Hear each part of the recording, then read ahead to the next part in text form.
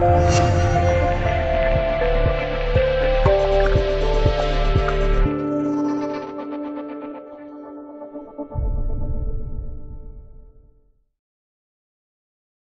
者：虎符，图片来自网络，欢迎参与文尾延伸话题。八月二日，据海外网援引俄罗斯卫星通讯社报道称，当地时间周二二日下午，菲律宾外交部长艾伦彼得卡耶塔诺同俄罗斯外长拉夫罗夫进行会晤。会晤中，卡耶塔诺表示，即使可能会面临来自美国的制裁，菲律宾也不会放弃向俄罗斯购买武器。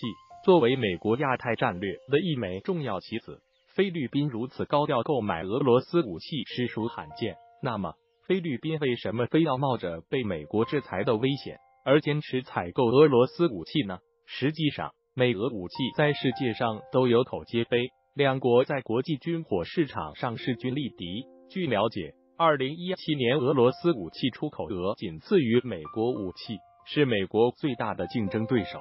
就拿 S 四零零防空导弹来说，这款导弹受到了包括中国、土耳其、沙特在内的多国青睐。其中，土耳其由于坚持采购 S 四零零，被美国予以严厉警告。这些都说明俄罗斯武器的确很出色，在市场上很抢手。菲律宾采购俄罗斯武器非常明智。相对于俄罗斯武器，美国武器有过之而无不及。日本、韩国。北约等轻重武器几乎都出自美国，军火出口也是美国的经济支柱产业。看看爱国者导弹、F 三五战机，便可以知晓美国武器受欢迎的程度。美国武器的出口必然与美国战略利益保持着密切关系。比如在叙利亚，美国为反对派武装免费提供大量美式武器，主要是为了让他们充当棋子，搅局叙利亚。保证美国的中东利益，而这正是杜特尔特政府不愿采购美国武器的原因之一。自杜特尔特上台之后，一再声称要摆脱美国影响，积极倡导独立自主的对外政策。杜特尔特多次公开发表亲中俄、援美国的言论，即便是在去年马尼拉恐袭事件爆发后，杜特尔特仍拒绝了美国派遣特种部队协助反恐的建议。反而亲自到场迎接中国援助的轻武器，现场大赞中国武器性能良好。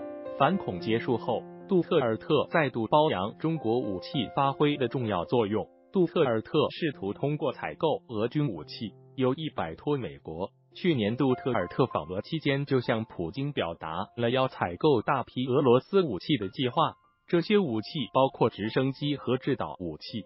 今年三月份。杜特尔特再次公开表示，不会购买美国二手武器，要采购中俄全新的先进武器。尽管美国二手武器要好很多，但美国会附加很多难以接受的苛刻条件，增加菲律宾的经济负担。杜特尔特已经清醒的认识到，美国想要的是将菲律宾当成马前卒，而忽略菲律宾的实际需要。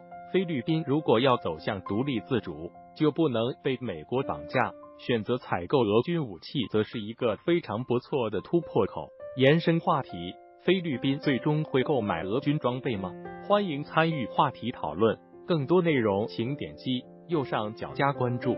严正声明：多家自媒体未经授权在微信平台抄袭阿尔法军师的文章，给我们造成很大困扰。如果有需要，请光明正大的联系本号管理员开白名单，原创不易，谢谢配合。